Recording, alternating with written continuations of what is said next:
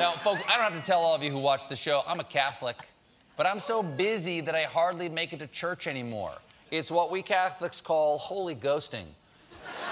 and what I miss most about my church is confession. So if you don't mind, I'd like to confess to you, my audience. You won't tell anybody, right? Great. This is Stephen Colbert's Midnight Confessions.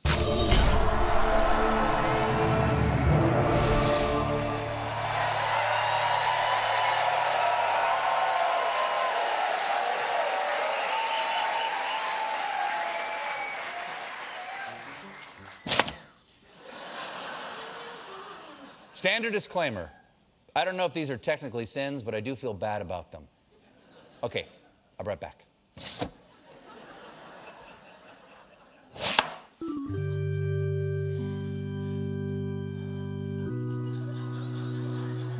Forgive me, audience.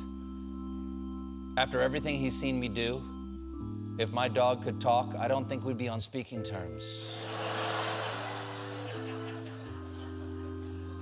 Audience, audience, if I like a photo of your baby on Facebook, it's not because it's cute. It's because I'm imagining how you made that baby.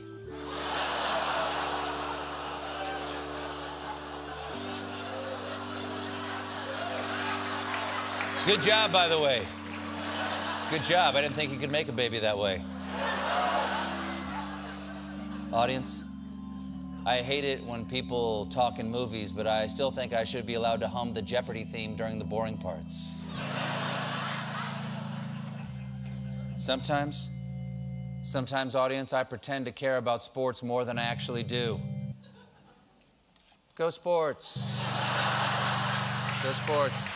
Put the thing, put the thing or the ball or whatever where you want it to be, and don't let the other guys prevent you from doing it.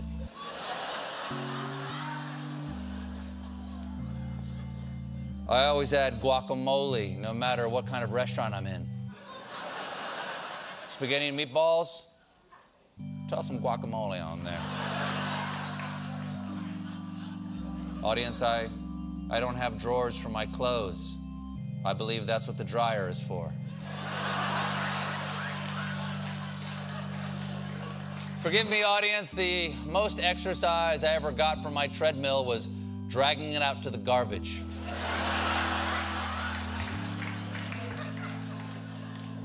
Sometimes, sometimes I turn off my car's GPS a few blocks from home so I can feel like an explorer.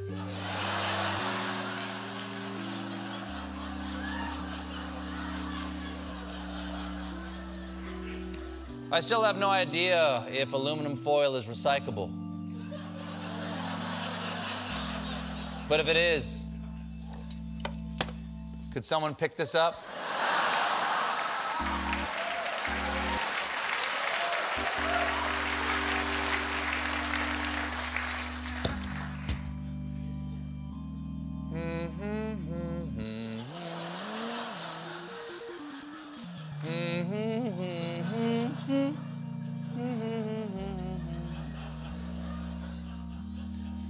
Whenever somebody says, good things come to those who wait, I wait a little, then I slap them. Forgive me, audience. Thanks.